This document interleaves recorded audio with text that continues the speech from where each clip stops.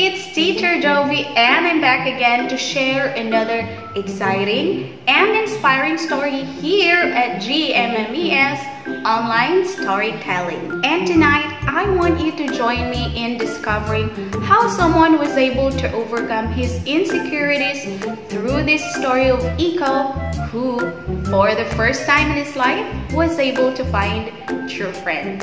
Let's go!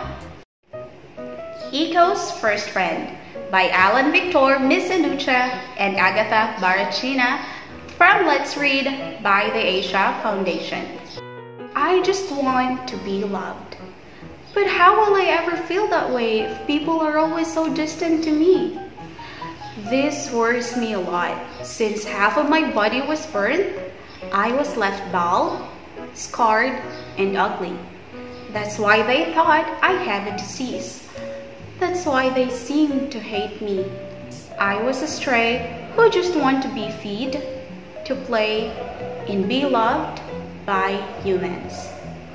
While I was looking for some food, a group of kids threw stones at me while shouting, You're disgusting! Shoo! I ignored them and proceeded with my search for something to eat. But they won't stop, so I just left. I just want to be taken care of be loved. But how will I ever feel that way if hurtful words are always thrown at me wherever I go? There are also kind humans who feed me, just like the kid at the bakery who gave me some bread. Thank you for the food. What is your name? I asked. I'm Kiko. How about you? I was about to say something, but I decided to leave and I noticed the increasing number of people by the bakery. Goodbye! I hear the kids say, There are a lot of people like Kiko who fits me, but there are also some who continually drive me away. One day, while I was looking for something to eat, I walked across the house. I climbed its fence and saw Kiko watering the plants. Just as when I was about to come to him, I saw a snake hissing behind his back. I quickly attacked it with my claws. Get off me! Get off me! I won't let you hurt Kiko. When Kiko saw the commotion, he ran quickly inside the house, shouting, Papa, come quick! There's a snake at our lawn! When the snake is no longer moving, I moved away. Kiko and his father quickly came out. Kiko pointed at me I suddenly felt scared when I saw his father holding a shovel. He might hurt me. But when he came near, he picked the snake and put it inside the sack. Kiko's father walked to me. Kiko, what will you say to the cat? He asked. I was about to leave when Kiko called me. Thank you, Kiko said.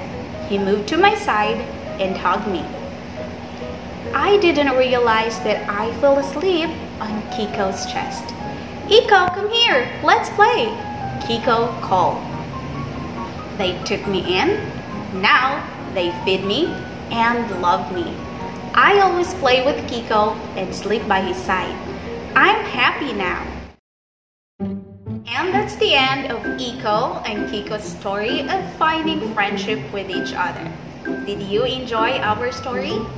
If you were Kiko, would you also take Iko in despite his appearance? Or would you be one of those kids who would not hesitate to throw stones at Iko whenever they saw him?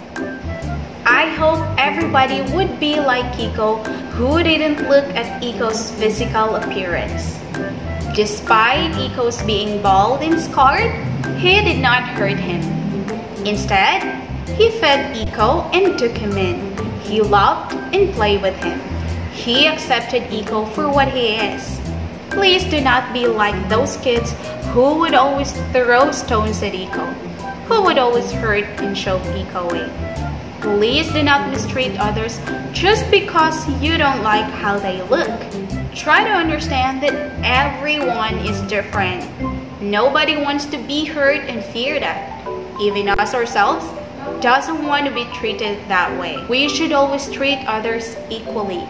Scarred, bald, or not, animals are human. Everybody deserves to be treated fairly. And if you feel like Iko sometimes, being insecure, having no confidence, feeling so small and unwanted because of how you look like and because of how other people treat you, please don't. Other people might not see you the way you want them to, but one day, just like Iko, you would be able to find your own Kiko who would love and accept you for who you are.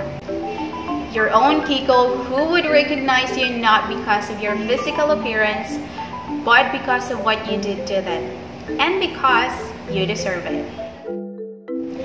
And that's the end of our story for tonight. And I hope that you learned something from Iko and Kiko's story.